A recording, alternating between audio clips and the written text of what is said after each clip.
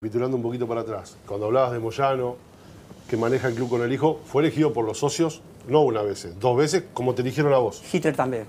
¿Cómo? No, bueno. Hitler también. Bueno, pe- perdone, a ver, tampoco va a comparar. No, no, perdone. Usted sabe cuál es mi opinión pero sobre no, Moyano, pero no me va a comparar a No, no, Moyano con Hitler, porque es una exageración, es un Es exabrupto decir, para ustedes el importante. nepotismo no existe. No, no, No, pero no, escúchame, pero no me puede comparar, per- perdóname. no, no, no, no, no, no, no, no no, quiero no llevemos tener- esa comparación porque banaliza entonces Bueno, eh, todo. ok.